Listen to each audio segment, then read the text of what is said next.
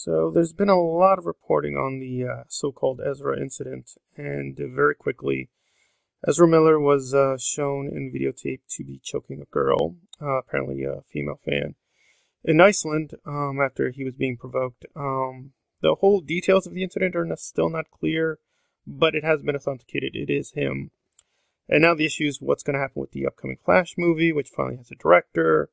Is it going to happen? Is it going to be canceled? Will he be replaced? But I think the more interesting question is what is going on with the whole DCU at the moment? And there's some rumors that Wonder Woman 1984 was always meant as a reboot, and for a while the producers have denied that. But after what happened in Iceland, I think it's probably very probable that um, Wonder Woman 1984 will be a kind of reboot and pivot point for the whole universe. And so we're going to discuss how that's possible and what does it mean for upcoming projects and where the DCU is right now. Now, in the broader scope, it's really not in a big state of crisis because financially, due to Aquaman and Joker being such big financial hits, it's actually doing financially pretty well. But in terms of as a universe, it's clearly still apples and oranges with the DCU and um, the MCU, with the MCU coming out with many more projects and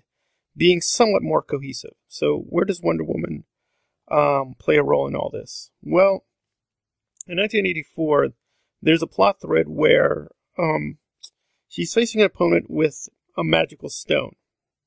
Yeah, it sounds pretty silly.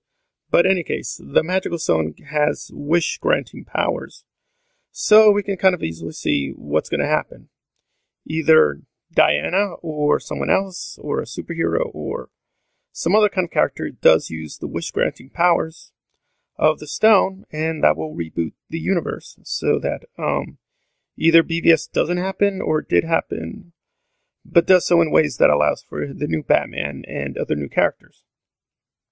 And obviously, we can see with the Flash, depending on what they're going to do with Ezra, he can either be replaced or they can keep him, but he's basically going to be his last appearance, and they can find a kind of smooth transition point to move from the Flash to a new Flash and not disrupt the continuity.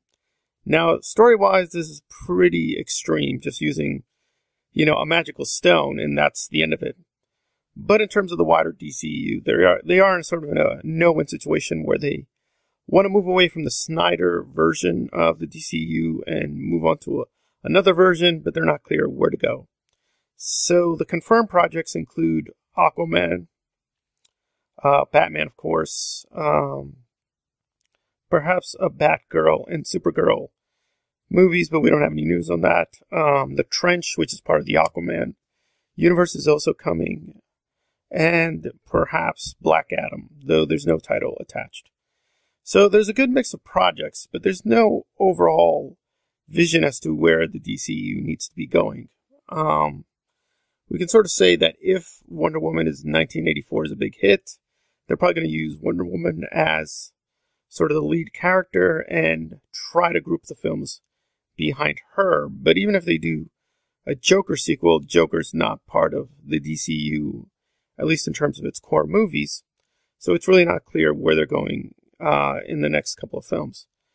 But financially overall, it's actually done pretty well because even though Harley Quinn wasn't a big hit, it, for its budget, they haven't really lost a lot of money. And with DVD sales, it'll probably do pretty decently. But I guess, like Shazam, it wasn't financially what they wanted the film to be. So they've kind of gotten mixed signals from the fans that, aside from Wonder Woman and Aquaman, it's not clear what the foundation for the DCEU is. But in terms of the Ezra Miller incident proper, it doesn't really mess things up too much because the Flash himself as a character was never going to be a central part of the DCU, even with the various appearances he's made in the films and television show. Um, whether Ezra would have liked that is another question, but it's clear that they never really had much build up for the Flash beyond the movie that was upcoming with Andrew Muschietti. So it's a bit of a big question mark for the DCU. Even if Wonder Woman is a good reboot, um, You've got a lot of Snyder fans who would be disappointed that they're trying to completely move away from his vision entirely and the Snyder Cut is a real thing out there. And then on top of all that, um, it's not clear how the new Justice League would be formed, who would be in it, what would be the thing behind it, who would they be fighting, and so on and so forth. So it's a lot of mid course correction, and it's still unclear as to where they're going, but in all probability, Wonder Woman will be a kind of pivot point to move the narrative into a new place. So what do you guys think? Is this a good idea? Should they do it? Should they not do it? This has been Pop Cult Analyzed on the DCU in a state of crisis and or choice. Pop Cult Analyzed. If you like the content, please hit the like button and or subscribe.